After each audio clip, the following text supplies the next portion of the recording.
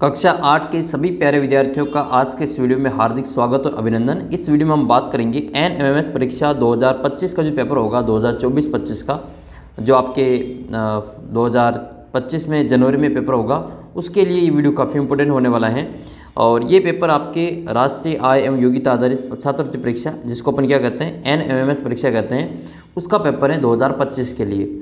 अगर आप ये वीडियो शुरू से अंत तक देखेंगे तो निश्चित रूप से आपको पूरा फ़ायदा मिलेगा। इस वीडियो में अपन आपके जो सेट के अंतर्गत सेट में आप पेपर जो होगा, वो आपके दो भाग में होगा। एक आपके मेंटल एबिलिटी के 90 क्वेश्चन होंगे, एक आपके किताब के गणित, विज्ञान, सामाजिक के और इनके 90 प्रश्न होंगे। तो सेट में जो आपके 90 प्रश्न पूछे जाएँगे, जिसमें 35 प्रश्न आपके साइंस के होंगे और 35 प्रश्न आपके सोशल साइंस के होंगे, यानी कि सामाजिक विज्ञान के और 20 प्रश्न आपके गणित के होंगे। तो इस वीडियो में अपन 35 जो प्रश्न हैं आपके जो विज्ञान के पूछे जाने वाले हैं, इनकी इस वीडियो में डिस्कस करने वाले हैं। किस प्रकार से वो विज्ञान के प्रश्न आपके आने वाले हैं? अगर ये वीडियो आप शुरू से तक देखेंगे तो निश्चित रूप से आपका पूरा फ़ायदा मिलेगा। अगर आप एन एम परीक्षा के टेस्ट देना चाहते हैं तो आप टेस्ट भी दे सकते हैं ऐप के ऊपर जाके और अपना व्हाट्सअप ग्रुप इसको ज्वाइन कर लेना। साथ ही आपके हाफ़ ईयरली के जो पेपर्स होंगे, उनकी भी पूरी तैयारी आपको यहाँ पर करवाई जा रही है तो उसके लिए आप चैनल को सब्सक्राइब करके रखें। तो ये आपके पूरा पेपर आएगा इस प्रकार से, जिसमें आपको इस प्रकार से इंस्ट्रक्शन दे रखे हैं, वो आपको एक बार पढ़ लेने हैं। फिर इसके बाद में आपका जो पेपर होगा, मैं आपके पूरे मेट सेट सभी की तैयारी आपको यहाँ पर करवाने वाला हूँ तो आप चैनल को सब्सक्राइब करके रखें। तो फ़िलहाल इस वीडियो में अपन आपके विज्ञान के जो 35 प्रश्न आएँगे साइंस के जो आपके 35 प्रश्न आने वाले हैं, वो आपके कैसे प्रश्न आएँगे, इसकी आप डिस्कस करने वाले हैं। अगर आप ये वीडियो अंत तक देखेंगे तो निश्चित रूप से आपका पूरा फ़ायदा मिलेगा। साइंस के अलावा आपके सोशल साइंस के भी 35 प्रश्न का वीडियो आ जाएगा, वो आपको मिल जाएगा यहाँ पे। और गणित के 20 प्रश्न का भी वीडियो आपको यहाँ पे मिलने वाला है। सभी वीडियो आपको यहाँ पे मिल जाएँगे। चैनल को सब्सक्राइब करके क्लास एट्थ की आपको प्लेलिस्ट चेक करनी है और एन परीक्षा की भी आपको प्लेलिस्ट चेक कर लेनी है। तो आइए पहला प्रश्न देखते हैं। पहला प्रश्न ये है कि कार्य करने की क्षमता को क्या कहते हैं? कार्य करने की क्षमता को शक्ति कहते हैं, बल कहते हैं, चाल कहते हैं या फिर ऊर्जा कहते हैं? तो कार्य करने की क्षमता को क्या कहते हैं? कार्य करने की क्षमता को ऊर्जा कहते हैं। और ऊर्जा का मात्रक और क्या होता है? ऊर्जा का मात्रक जूल होता है। ठीक है, कार्य और ऊर्जा का मात्रक क्या होता है? जूल होता है, जबकि बल का जो मात्रक है वो क्या होता है? न्यूटन होता है। ठीक है, शक्ति का मात्रक क्या होता है? वाट होता है। एक हॉर्स पावर बराबर वन एचपी एक हॉर्स पावर के बराबर कितना वाट होता है? आपको कमेंट करके बताना है। नेक्स्ट क्वेश्चन है, इनमें से कौन सी वस्तु गतिशील है? गतिशील का मतलब जो एक स्थान से दूसरे स्थान पर चली जाए, उसको गतिशील कहते हैं। ठीक है, जैसे मेज है तो वो खुद पड़ी रहेगी, जब तक उसको नहीं हटाएँगे। टीवी भी वहीं रहेगी, अलमारी भी वहीं रहेगी, लेकिन उड़ता पक्षी जो है वो गतिशील है, एक स्थान से दूसरे स्थान पे चला जाएगा। अगला प्रश्न है, कोई व्यक्ति आर त्रिज्या के वृत्ताकार मार्ग पर चलते हुए आधे व्रत का रास्ता तय करता है? तो व्यक्ति का विस्थापन बताना है। ये मान लो पूरा व्रत है, ये एक पूरा व्रत है, इस पर चलता हुआ व्यक्ति मान लो ए से लगा के ये वाला रास्ता इसमें यहाँ पे तय कर लें।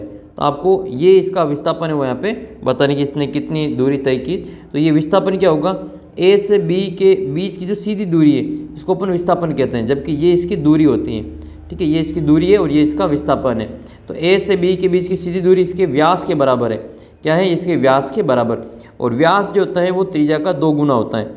व्यास बराबर दो इंटू त्रिज्या, क्योंकि इसकी त्रिज्या कितनी? आर है। तो व्यास बराबर टू आर इसका आंसर हो जाएगा। ठीक है, टू आर इसका करेक्ट आंसर होगा। ठीक है? और टू पे आर ये पूरी परिधि अगर बात करें, एक चक्कर पूरा लगा देता तो इसका जो दूरी है वो टू पी आर होती, ठीक है? लेकिन ये आधा चक्कर लगाए तो इसका विस्थापन यहाँ पे पाई टू आर होगा। अगला प्रश्न आपके, गुरुत्वीय स्थिति ऊर्जा का मात्रक क्या है? तो गुरुत्वीय स्थिति ऊर्जा का जो मात्रक है, वो क्या होता है? जूल होता है। क्या होता है इसमें? जूल। ऊर्जा का मात्रक और कार्य का मात्रक जूल होता है। पास्कल किसका मात्रक है? तो पास्कल ये दाब का मात्रक है। पास्कल किसका मात्रक होता है? दाब का मात्रक होता है। अगला प्रश्न आपकी किसी गतिशील वस्तु की दूरी विस्थापन में क्या संबंध होता है?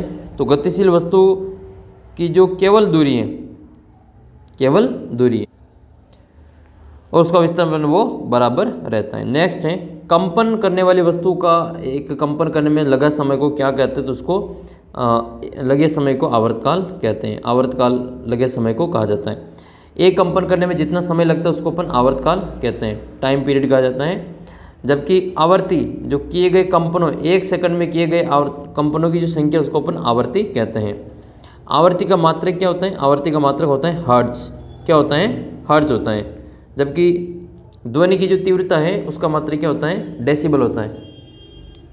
नेक्स्ट क्वेश्चन आपका सत्ता नाइन्टी सेवन नंबर क्वेश्चन तड़ित चालक किससे बनाया जाता है? तो तड़ित चालक जो धातु होते हैं, उसका बनाया होता है। कांच धातु नहीं है, रबर भी धातु नहीं है, स्टील भी धातु नहीं है। तो ये इसमें आपकी जो तांबा है, वो धातु से बनाया जाता है। नेक्स्ट है, इनमें से कौन सी दीप्त वस्तु नहीं है? दीप्त का मतलब जो चमकती हैं। तारे चमकते हैं, सूर्य चमकता है, एलईडी चमकती है, लेकिन पुस्तक नहीं चमकती तो इसका उत्तर अपन पुस्तक कर देंगे। अगला प्रश्न है, क्वेश्चन नंबर 99 समतल दर्पण पर अभिलंबित प्रकाश की किरण के लिए आपतन कोण तथा परावर्तन कोण के संबंध क्या होता है? तो ये समतल दर्पण है और इसका ये अभिलंब होता है। अब अभिलंब के ऊपर कोई मान लो प्रकाश की किरण आएगी तो वो अब आपतन कोण होता क्या है? अभिलंब के साथ जो कोण बनाती है, आपतित किरण, उसको अपन ये आपतन कोण कहते हैं। अब ये आ, इसी के ऊपर ही तो कोण तो इसमें बनेगा नहीं। जहाँ से आएगी, उतना ही कोण से वापस ये चली जाएगी। तो आपतन कोण और परावर्तन कोण का जो मान है, वो क्या हो जाएगा? इसमें ज़ीरो हो जाएगा। तो जितना आपतन कोण है, उतना ही परावर्तन कोण होगा। क्योंकि परावर्तन का नियम ये है कि अभिलंब ये तो जितना आई है, उतना ही ये आर होता है। आपतन कोण और परावर्तन कोण हमेशा बराबर होते हैं। तो इसमें अभिलंबित तो हो रही है अभिलंब पर आपतित हो रही तो इसका उत्तर ज़ीरो हो जाएगा। आई बराबर आर बराबर ज़ीरो होगा। लेकिन प्रश्न ऐसे आ जाता है कि आपतन कोण का मान मान लो तीस डिग्री है और तुमसे पूछता है परावर्तन कोण कितना होता है, होगा इसके लिए तो वो भी कितना होगा? तीस डिग्री ही होगा।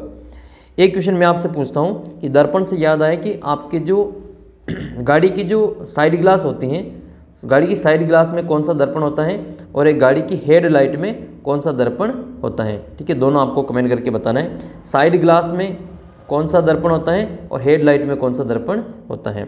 कौन सी वस्तु पारदर्शी है? तो जो जिसके आर पार देख सकते हैं, उसको अपन पारदर्शी वस्तु कहते हैं। दफ्ती का टुकड़ा नहीं होगा कार्डबोर्ड के आर पार नहीं देख सकते दर्पण, जो मिरर होता है, उसके आर पार भी नहीं देख सकते हैं।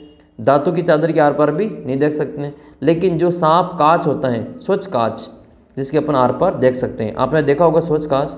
आपके जो प्रिंसिपल सर हैं, उनकी टेबल पे आपने ये कांच देखा होगा। उस कांच के नीचे कई सारी वस्तुएँ पड़ी होती है, उसको अपन आराम से देख सकते हैं। तो पारदर्शी कांच होता है वो, ठीक है, उसके अपन आर पार देख सकते हैं। जबकि दर्पण के पीछे पॉलिश होती है, इस कारण से अपन उसके आर पार नहीं देख सकते हैं। अगला प्रश्न है, मानव शरीर का सामान्य तापमान कितना होता है? तो अगर डिग्री सेल्सियस में बात करें तो सैंतीस डिग्री सेल्सियस होगा। और फारेनाइट में बात करें तो 98.6 डिग्री फारेनाइट होगा। तो ये दोनों बराबर होते हैं, ठीक है? सैंतीस डिग्री सेल्सियस और 98.6 डिग्री फारेनाइट तो ये इसका उत्तर देखो, ये तो फारेनाइट में सैंतीस तो ये तो होगा नहीं, ठीक है? अड़तीस भी नहीं होगा। Ninety eight point six six ये सेल्सियस में तो ये भी नहीं होगा। तो अपना उत्तर हो जाएगा ninety eight point six degree Fahrenheit ठीक है? अगर ये सेल्सियस होता तो अपन इसको करते, ये फारेनाइट की जगह पे। तो इसका उत्तर क्या होगा? सी ऑप्शन हो जाएगा। अच्छा जो ताप मापा जाता है, उस उपकरण को क्या कहते हैं? जिस उपकरण के द्वारा शरीर का ताप मापते हैं, उस उपकरण को क्या कहते हैं? अगला प्रश्न है, इंद्रधनुष के वर्णों का मध्य वर्ण कौन सा होता है? तो इसके लिए आपको याद करना है VIBGYOR V I B G Y O R VIBGYOR होता है, ठीक है विबग्योर में बीच में कौन सा आता है ये? विबग्योर में ये बीच में जी आता है। तीन कलर नीचे, तीन कलर ऊपर, बीच में क्या आता है? जी आता है जी फॉर ग्रीन होता है इसमें। तो ग्रीन का मतलब इसमें हरा हो जाएगा।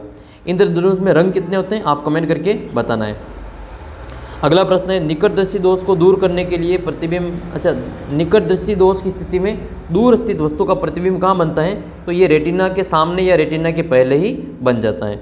निकट दृष्टि दोष को दूर करना है तो कौन सा लेंस काम में लिया जाता है, उसके लिए आपको याद रखना है निकट दृष्टि दोष के लिए इसको निकट दृष्टि दोष को मायोपिया कहते हैं। ठीक है, इसके लिए अपन अवतल लेंस काम में लेते हैं। कौन सा लेंस काम में लेते हैं अवतल लेंस काम में ले जाते हैं, जबकि दूर दृष्टि दोष के लिए उत्तर लेंस काम में लेते हैं। निकट दृष्टि दोष में पास की वस्तुएँ बढ़िया दिखती हैं, दूर की वस्तु साफ़ नहीं दिखती हैं तो उसको अपन निकट दृष्टि दोष कहते हैं। जबकि दूरदर्शी दोष में दूर की चीज़ें साफ़ दिखती हैं, लेकिन पास की वस्तुएँ साफ़ नहीं दिखती हैं, उसके लिए अपन उत्तर लेंस काम में लेते हैं। ठीक है, इसको याद कर लेना, अवनी, अवतल निकटदर्शी दोष और उर्दू, उत्तल और आपके दूरदर्शी दोष। नेक्स्ट है निम्न में से कौन सा ऊर्जा का नवीकरणीय स्रोत है? नवीकरणीय स्रोत का मतलब एक बार से अधिक बार उसको काम में ले सकते हैं। लकड़ी को एक बार ही काम में ले सकते हैं। डीजल, पेट्रोल एक बार ही काम में लेंगे, लेकिन सौर ऊर्जा को आप कई बार जो काम में ले सकते हैं। ठीक है, सूर्य का प्रकाश कभी भी समाप्त नहीं होने वाला है। तो ये नवीकरणीय आता है। ये परंपरागत है ये, लकड़ी है और डीजल है, पेट्रोल है, ये परंपरागत ऊर्जा के स्रोत हैं। आपको जीवाश्म ईंधन का नाम कमेंट करके बताना है कि जीवाश्म ईंधन कौन कौन से होते हैं। ठीक है किन्हीं दो जीवाश्म ईंधन का नाम आपको कमेंट करके बताना है। साथ ही आपको एक एलपीजी का पूरा नाम बताना है। एलपीजी का और एक आपको सीएनजी का पूरा नाम बता देना है। नेक्स्ट क्वेश्चन है, रासायनिक ऊर्जा को विद्युत ऊर्जा में रूपांतरित करने वाली युक्ति कौन सी है? विद्युत मोटर। देखो, विद्युत मोटर जो होती हैं, वो यांत्रिक ऊर्जा को विद्युत ऊर्जा में बदलती हैं। जनरेटर जो होता है, वो विद्युत मोटर पर ही काम करता है। एक नेक्स्ट अच्छा ये जनरेटर जो होता है वो यांत्रिक ऊर्जा को विद्युत ऊर्जा में बदलता है, जबकि ये जो विद्युत मोटर होती हैं, वो विद्युत ऊर्जा को यांत्रिक ऊर्जा में बदलती हैं। ये विद्युत मोटर अपने पंखे में होती हैं, जो इसको पंखे को घुमाती जब करंट देते हैं इसको तो याद रखें। जबकि माइक्रोफोन जो होता है, वो विद्युत ऊर्जा को ध्वनि ऊर्जा में बदलता है। नेक्स्ट आपके क्रोमियम ऑक्साइड मिलाने पर जो निर्मित कांच है, वो कौन सा होता है तो वो हरे रंग का हो जाता है। रासायनिक ऊर्जा को विद्युत ऊर्जा में बदलने का युक्ति है, वो आपकी विद्युत सेल हो जाएगी। कई सारे सेल मिलकर क्या बना देते हैं? बैटरी बना देते हैं। पदार्थों के अणुओं के बीच लगने वाला आकर्षण बल का सही क्रम कौन सा है? तो ठोस, द्रव और गैस वाला हो जाएगा। देखो, एन एम परीक्षा की अगर आप टेस्ट देना चाहते हैं तो लिंक वीडियो के नीचे डिस्क्रिप्शन बॉक्स में दे रखा है। वहाँ पर क्लिक करके आप अपने ऐप के ऊपर बिल्कुल फ्री में टेस्ट दे सकते हैं। प्रत्यावर्ती परिवर्तन क्या होता है? तो प्रत्यावर्ती परिवर्तन इसका मतलब ये, जो रिवर्सेबल होता है, वो भौतिक परिवर्तन को रिवर्सेबल जो उत्क्रमणीय परिवर्तन कहते हैं, ठीक है, ये एक अवस्था से दूसरी अवस्था में वापस परिवर्तित हो जाता है। तो इसको अपन प्रत्यावर्तित परिवर्तन कहते हैं। यानी कि मोम का पिघलना भौतिक परिवर्तन है, जबकि दूध का फटना, मोमबत्ती का जलना, सब्ज़ी का पकना, ये रासायनिक परिवर्तन के उदाहरण है। नेक्स्ट क्वेश्चन है, गैलेना किसका का है? तो गैलेना जो एस्क है, वो लेड का एस्क होता है, गैलेना। आपको कमेंट करके बताना है कि जो बॉक्साइट है बॉक्साइट वो किसका का है? बॉक्साइट किसका का है? प्रयोगशाला थर्मामीटर का अधो बिंदु क्या होता है? तो लोअर जो पॉइंट होता है प्रयोगशाला थर्मामीटर का, वो 32 डिग्री फ़ारेनहाइट होता है। ज़ीरो डिग्री सेल्सियस के दो या 32 डिग्री फ़ारेनहाइट होता है। अगला प्रश्न है, पदार्थ की सूक्ष्मतम इकाई क्या कहलाती है? तो पदार्थ की जो सूक्ष्मतम इकाई है, पदार्थ की सूक्ष्मतम इकाई। तो पदार्थ की जो सूक्ष्मतम इकाई है, उसको क्या कहते हैं? एटम कहा जाता है, परमाणु कहा जाता है। अगला प्रश्न है, कपास की खेती के लिए उपयुक्त तापमान क्या है? तो 21 डिग्री से सत्ताईस डिग्री सेल्सियस इसका तापमान होना चाहिए। अगला प्रश्न है, भेड़ों के रेसों की चिकनाई धूल गर्त निकालने की प्रक्रिया को क्या कहते हैं उसको? अभिमार्जन कहा जाता है। नेक्स्ट है एच और एन की अभिक्रिया करवाएँगे तो ये एक्स बनेगा और एक्स के साथ में जल और उष्मा निकलती हैं। तो ये एक्स क्या है? तो यहाँ पे एच तो एक अम्ल है और ये एन ओ क्षार है।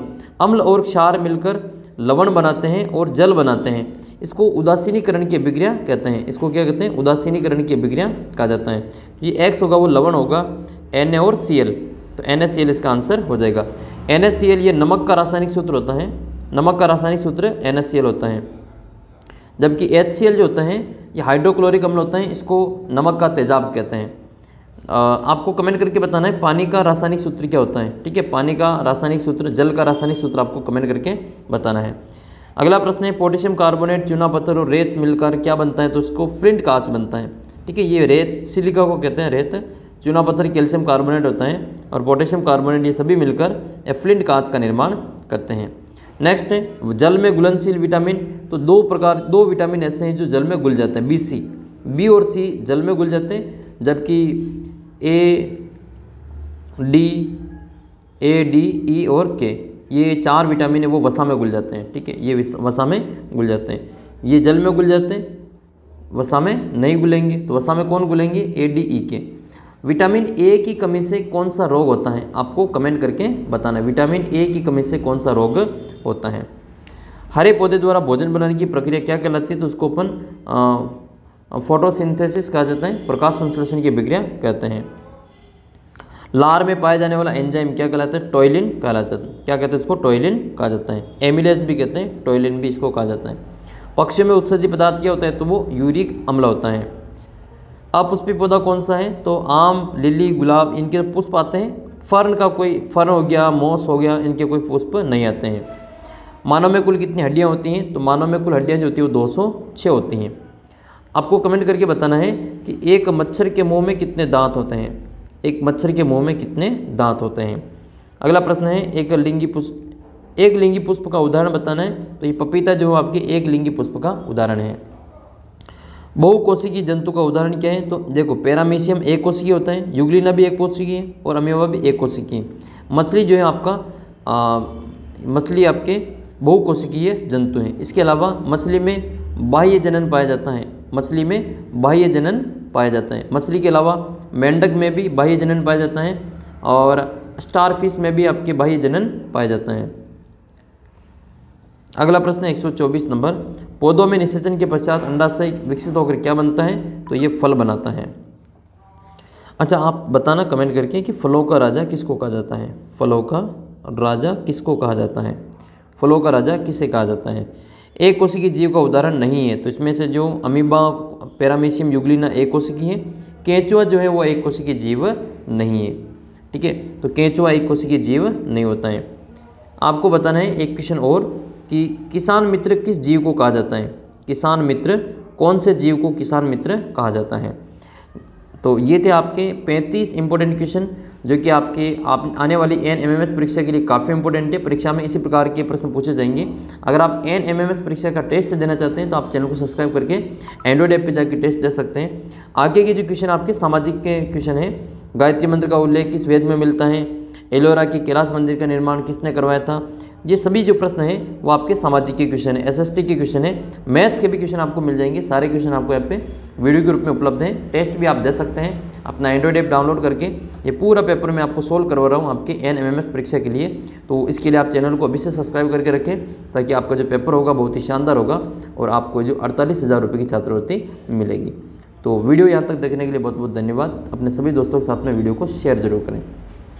कैसा लगा ये वीडियो कमेंट करके बताना और आप ये वीडियो किस ज़िले से देख रहे हैं, अपना और अपने ज़िले का नाम कमेंट सेक्शन में लिख के ज़रूर बताएँ। तो जल्दी मिलेंगे आपको अगले वीडियो में, तब तक जय हिंद, जय भारत। अच्छा एक और आपके लिए स्पेशल है कि इस वीडियो को अपने सभी दोस्तों को भी बताना है जो एन एम एम एस परीक्षा की तैयारी कर ताकि उनको भी इसके बारे में जानकारी मिल सके। आप जो टेस्ट देते हैं तो उसका जो रिज़ल्ट आता है, अपना स्कोर अपने व्हाट्सअप ग्रुप या फिर अपने व्हाट्सअप स्टेटस पर शेयर भी करना है। तो जल्दी मिलेंगे आपको अगले वीडियो में। तब तक जय हिंद जय भारत।